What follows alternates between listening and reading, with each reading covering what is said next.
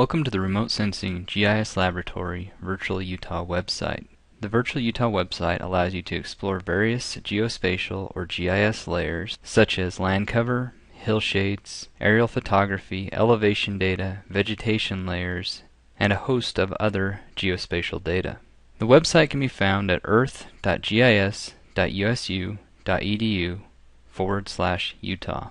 Looking at the main page, you can see you have several options. You can use the basic viewer, an advanced viewer, or click for a link of places around the state of Utah.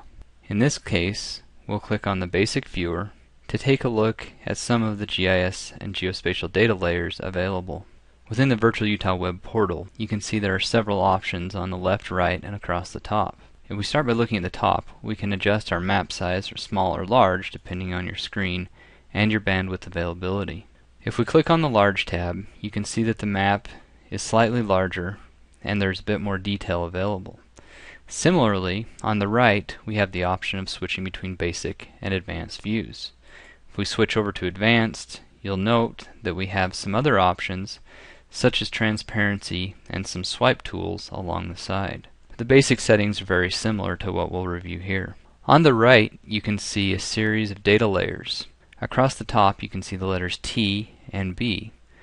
This stands for either top or bottom layer allowing the user to put two layers up simultaneously and then use transparency to swipe between those layers. A number of different data layers are available in the legend. Earthquakes, Southwest Regional Gap data points, Digital Plant Atlas points, municipal boundaries, names, county boundaries and county names, state boundaries, roads, land ownership, topo maps, aerial photography, and a series of environmental and satellite imagery layers. As you initially scroll through the table of contents, you'll see that there is one layer highlighted. That is the 2011 Landsat Mosaic. If we wish to turn that off and turn on another layer, perhaps we would like to look at some older aerial photography, we can click in our top column and it will update the viewer. On the left we have a series of tools. We can zoom in, zoom out, pan, collect information or attributes about certain points, zoom to a full extent of the state, previous or next extent, also saving URLs and creating PDF maps.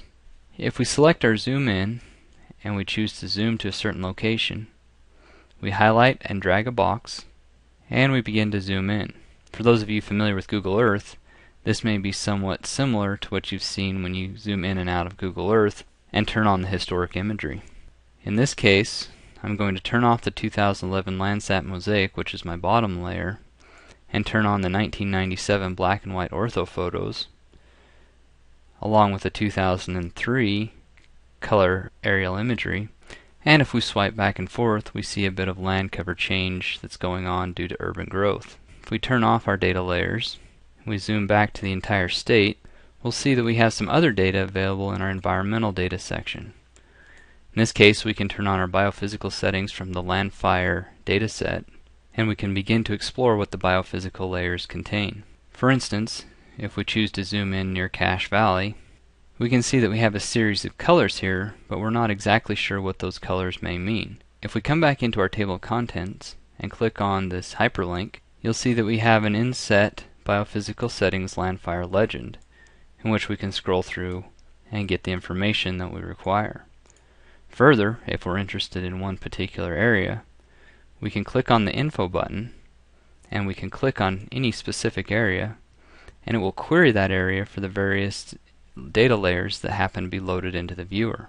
In this case, it'll query through all the different layers.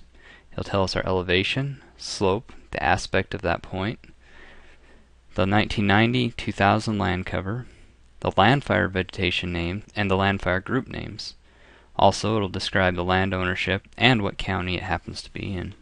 If you wish to work with the transparency setting, you would load a top and a bottom layer of interest. In this case, I will switch from the biophysical settings to a 2006 high-resolution orthophoto, and on the bottom I will put my 1993 or 97 orthophotos. We'll zoom in a bit further, and I can take the transparency tool and begin to swipe back and forth to see each layer. So as we swipe to the right, we can see the black and white digital ortho quads. As we swipe back to the left, we can see our top layer, which is the 2006 high resolution orthophotos. Similarly, if we want to take a closer look, and we'd like to look at changes between photos, we can use the swipe tool to swipe back and forth or up and down. We hope that this site will be useful to you, and we welcome any input or suggestions for data layers to add.